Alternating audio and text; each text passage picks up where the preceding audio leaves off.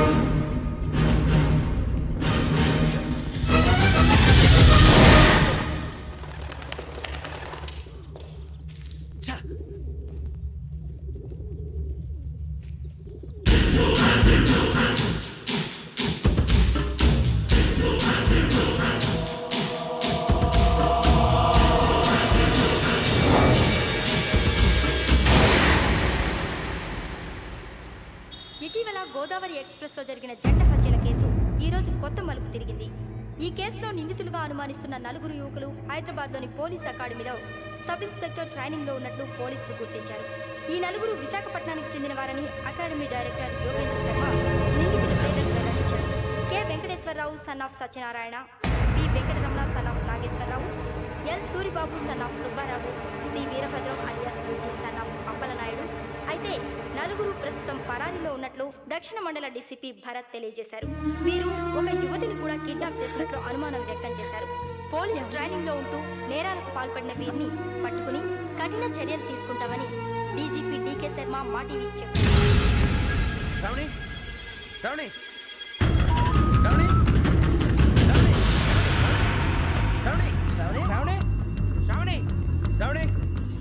శ్రావణిని ఖచ్చితంగా యోగ్యత తీసుకెళ్ళిపోతాడు రా చూడరా. హలో? అలాగే. సరే. ఎవర్రా? మా నాన్నరా. మన పేరెంట్స్ అందరినీ హైదరాబాద్ ఇంట్రాగేషన్ కోసం తీసుకొస్తున్నారంట.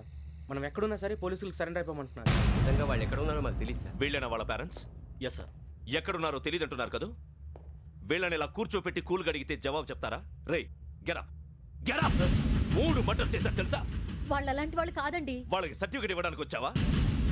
మా పోలీస్ డిపార్ట్మెంట్ పరువు తీశారు స్కౌండ్రల్స్ అలాంటి వెదవల్ని కన్నందుకు సిగ్గుపడండి. పిల్లల్ని పెంచడం చేత కాకపోతే ఏ రైలు కింద పడి చావండి. సార్ కొంచెం మర్యాదగా మాట్లాడండి.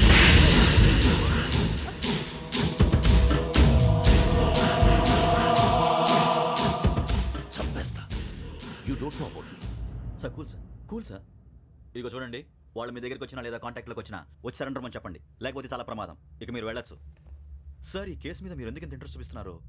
I'm not able to understand నా ట్రైనింగ్లో ఉన్న కుర్రాలు ఇలా చేశారంటే I'm feeling shame for it that's it నాన్న నేను వెళ్ళి టికెట్స్ తీసుకొస్తాను. అలాగే నాన్నగారికి ఏమైనా తినడానికి తీసుకురమ్మా. నాకు ఆకలి కాలేదు. నువ్వు వెళ్ళమ్మా. అదేంటండి? పొద్దున్నుంచి మీరేమీ తినలేదు. నాకు విషయం తప్ప ఏమీ తినాలనిపించట్లేదు లక్ష్మి. వాడు ఎస్ఐగా ఉద్యోగం సంపాదించుకుంటే మురిసిపోయాను. కన్న తండ్రి ఉండి కూడా వాడిని అర్థం చేసుకున్నందుకు సిగ్గుపడ్డాను. కానీ వాడు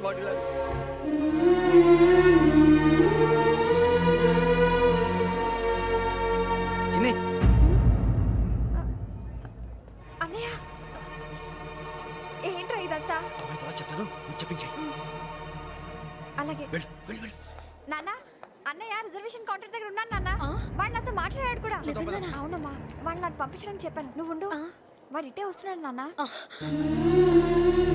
ఏరా నాన్న? ఇదంతా పర్వాలేదమ్మా మీరే కంగారు పడకండి. నాన్న నేను ఈ హత్యలు చేయలేదు నాన్న టీవీలోను పేపర్లోను నువ్వే హంతకుడు అని ఫోటోలు వేశారా నీకు ట్రైనింగ్ ఇచ్చిన ఆఫీసరే నువ్వు నేరస్తులను సర్టిఫై చేశాడు. అంతేగా. నా మీద చేయి కూడా చేసుకున్నాడు కానీ నేను నమ్మలేదు. ఇంతవరకు మిమ్మల్ని అడగటమే కానీ మీకు ఎప్పుడు ఏం లేదు. ఇప్పుడు మాటిస్తున్నాను మీ తలదించుకునేలా చేశాను. మళ్ళీ తలెత్తుకునేలా చేస్తాను. నన్ను నమ్మండి నాన్న. ఒరే అన్నయ్య పోలీసులు వచ్చేస్తున్నారా? నాన్న జాగ్రత్త. చిన్న జాగ్రత్త. ఏమా రిజర్వేషన్ కౌంటర్లో ఉన్నాడన్నా? అక్కడ ఎవరూ లేరండి వాడు ఉండగానే మీరు వెళ్ళాలి. మీరు వెళ్ళేంత వరకు వాడు ఉంటాడా ఏంటి. సరేలే. ఏమండి? ఇడ్లీ చల్లారిపోతోంది. నువ్వు కూడా తిను.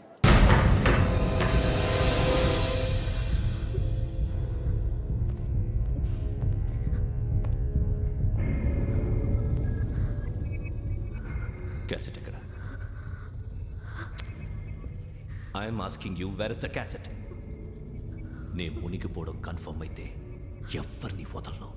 నాతో పాటు అందరినీ అందరినీ ముంచేస్తాను.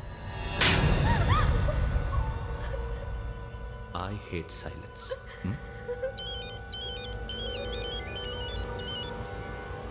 హలో నేనే రా వెంకీ నువ్వు అమ్మాయిని ఎంత భయపెట్టినా బతిమాలినా ఆ క్యాసెట్ నీకు దొరకదు. ఎందుకంటే ఆ క్యాసెట్ నా దగ్గర ఉంది. వెంకీ నువ్వు ఈ అమ్మాయిని కాపాడడానికి ఇంత టెన్షన్ పడుతున్నావంటే విషయం నాకు అర్థమైంది. నాకు కావాల్సింది నీ దగ్గర ఉంది. నీకు కావాల్సింది నా దగ్గర నిజం. Let's make a fair deal Venky. నీకు కావాల్సింది నువ్వు తీసుకో.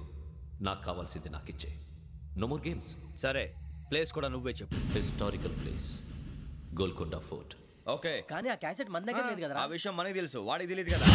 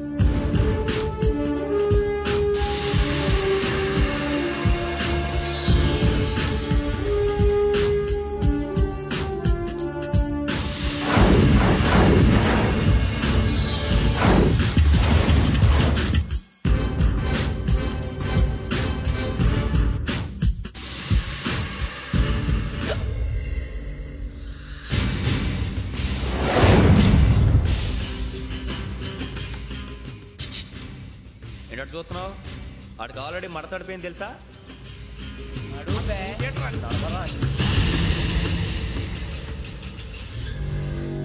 ఓకే. వేర్స్ మై క్యాసెట్ అంటే? క్యాసెట్ ఇచ్చేస్తే మా ఇద్దరిని చంపేసి క్యాసెట్ తీసుకెళ్ళిపోదాం అనుకున్నావా? నీకే ఎన్ని తెలివితేటలు ఉంటే వైజాగ్ సీతంపేట నుంచి వచ్చినోడిని నాకు ఎన్ని తెలివితేటలు ఉండాలిరా? క్యాసెట్ లేదు తొక్కలేదు క్యాసెట్ ఎక్కడ?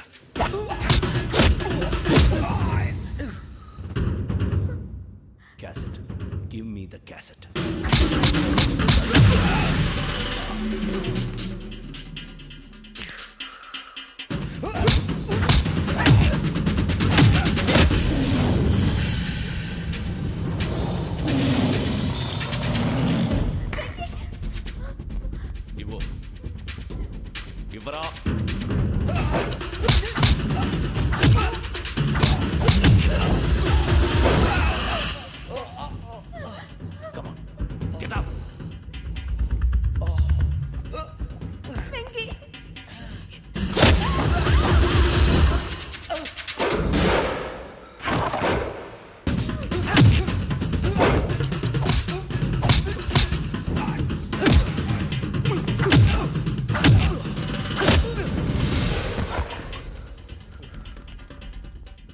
మోషన్ ఉంటే సరిపోదురా.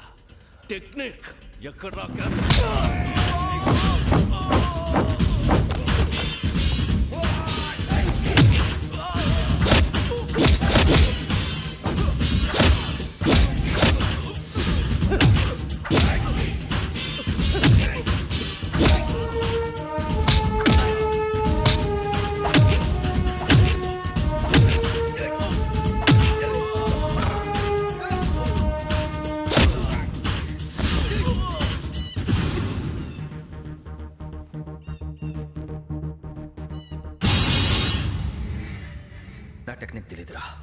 ఎమోషన్ నేను ఇప్పుడే చంపేవచ్చు చంపడం తేలిక. కాపాడటం కష్టం. కాపాడతాను. ఆ అమ్మాయితో పాటు నిజాన్ని కూడా.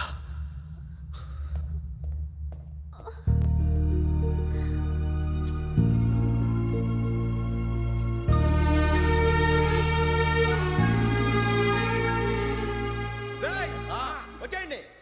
సరే. సార్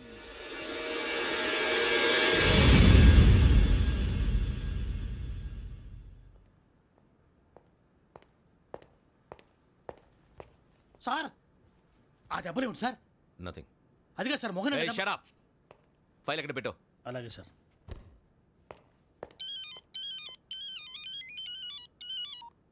హలో నేను గజాల మాట్లాడుతున్నాను. గజాల? జీకే గజాల. మగాండి సార్. అయితే? నీకు కావాల్సిన కెమెరా నా దగ్గర ఉంది. కెమెరా? నాకే కెమెరా అక్కర్లేదు. శర్మ గారు మీరు పోలీస్ అయితే నేను దొంగని. రైల్లో పెద్ద ఆయన కెమెరా కొట్టేసింది నేనే. అందులో ఏముందో కూడా నాకు తెలుసు. ఇంకా బుకాయించడానికి ప్రయత్నం చేయకండి. అది మీకే నష్టం. ఏం కావాలి నీకు? ఏం కావాలంటే ఏం చెప్తాను? ఒక ఐదు లక్షలు కొట్టండి. నువ్వు ఎక్కడున్నావు? గెలాక్సీ థియేటర్ పక్కన అల్ఫా కేఫ్లో త్వరగా తీసుకురండి. ఇప్పుడు ఎక్కడ కొట్టాలరా నిన్ను? కొట్టకుండా పనే మార్గం లేదా? ఉంది. ఆ కెమెరా ఇచ్చేస్తే. ఏయ్, ఆ కెమెరా ఇటు ఇచ్చే లేచే ఇచ్చే ఆ, తీసుకో. మాట తప్పుతున్నారు. నీలాంటి ఎదల దగ్గర కూడా మాట మీద నిలబడతారేంట్రా? అయినా నేను ఒక దెబ్బతో ఎందుకు ఊరు పెడతానో తెలుసా కట్ ఐదు నిమిషాలు తెలుసు చూడు. కెమెరా దొరికిందా కెమెరా దొరికిందా? వెంటనే చూడాలి. ముందు మనకు ప్లేస్ కావాలి. నా క్లోజ్ ఫ్రెండ్ ఒక అమ్మాయి ఉంది. వాళ్ళ పేరెంట్స్ ఢిల్లీలో ఉంటారు. తను ఒక్కతే ఉంటుంది. అక్కడికి వెళ్దాం.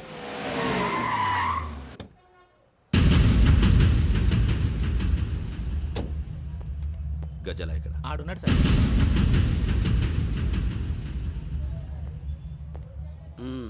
క్యాసెట్ ఎక్కడ? లేదు. Don't irritate me give me the cassette లేదని చెప్పాను కదా. ఎన్నిసార్లు చెప్పాలి నీకు? ఏంట్రా కొడతావా కమాన్ కొట్టు అమ్మా! అమ్మా!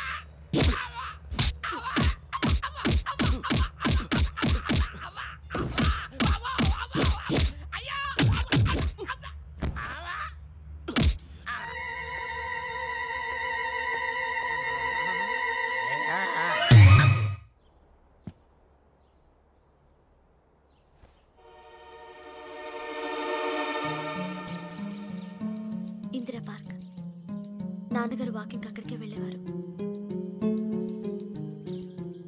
అక్కడ రకరకాల పక్షుల్ని కెమెరాతో రికార్డ్ చేసేవారు. ఈ ఒక్కసారి ఎక్స్క్యూజ్. ఇది నీకు ఫస్ట్ టైం కాదు. ఒక ఇన్నోసెంట్ స్టూడెంట్ని నీ పర్సనల్ వెంజెన్స్ తీర్చుకోవడానికి నక్సలైట్ అని ముద్ర వేసి చంపేశావు. అది నాకు తెలుసు కూడా నువ్వు నా ఫ్రెండ్ అని చెప్పి ఎక్స్క్యూజ్ చేశారు. ఈ నకిలీ స్టాంపులు కుంభకోణం దేశంలోనే పెద్ద ఇష్యూ అయింది. మన రాష్ట్రంలో మినిస్టర్ అరెస్ట్ చేశారు.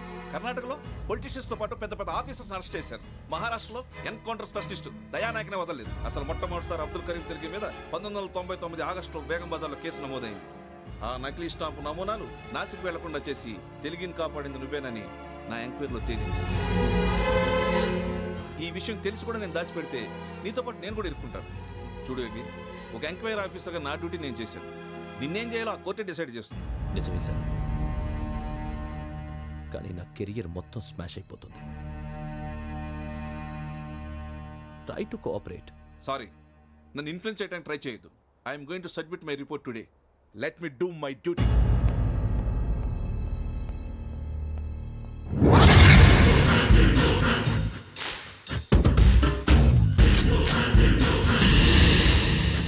Sharath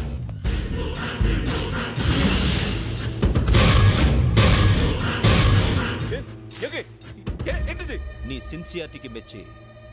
నేనిస్తున్న promotion. నో. నో. నక్సలైట్ల చేతుల్లో హతమైన శరత్ కుమార్ ఐపీఎస్ రేపు నువ్వు న్యూస్ చూడలేవు కదా? అందుకే అడ్వాన్స్గా న్యూస్ చెబుతున్నా. వెంకీ? వాడిని ఎక్కడో చూశానని చెప్పాను కదా? మా ఫ్లాట్స్లోనే చూసాను ఎప్పుడు? అదే మేము ఊరెళ్ళే రోజు. మీరుండే ఏరియా ఏ పోలీస్ స్టేషన్ లిమిట్స్లోకి వస్తుంది? లక్టీ కపూర్. ఈ యోగేందర్ శర్మ ఏపీ పోలీస్ అకాడమీకి హెడ్ ఆఫీసర్గా రావడానికి ముందు లకడి కబ్బుల్లోనే డీసీపీగా పనిచేసేవాడు. అంటే? శ్రావణి ఆ రోజు ఏం జరిగింది? మా నాన్నగారు ఆ రోజు ఎందుకో చాలా టెన్షన్గా ఇంటికి వచ్చారు. నాన్న జ్యూస్ ఇక్కడ పెడుతున్నాను తాగండి. అలాగే.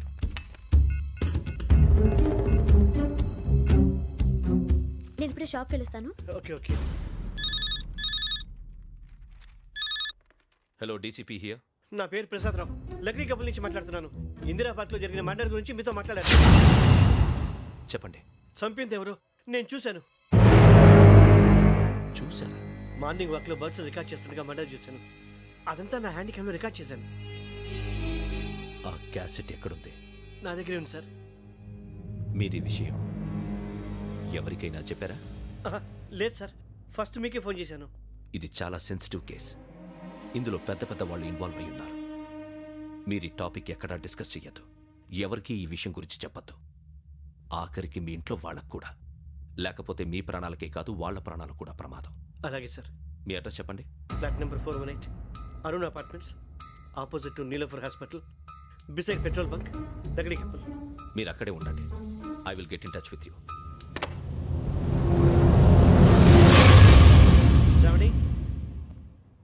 అమ్మ శ్రావణి శ్రావణి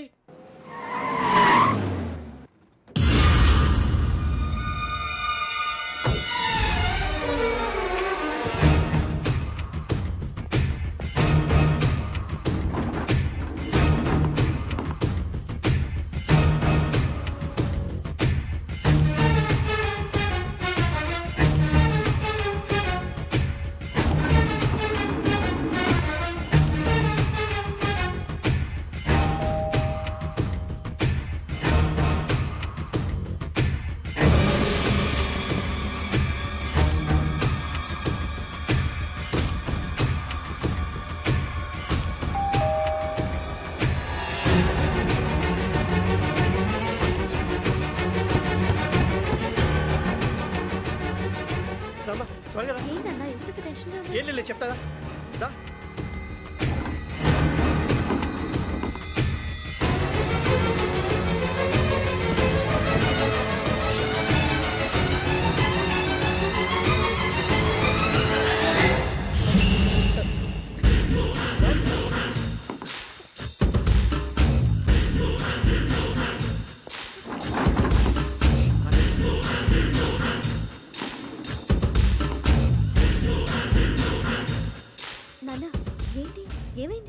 శ్రావణి ఇవాళ మనం మన ఊరు వెళ్తున్నాం ఆయన చూసిన నేరాన్ని పోలీసులు చెప్పాలనే కంగారులో హంతకుడికి వివరాలన్నీ చెప్పేశారు.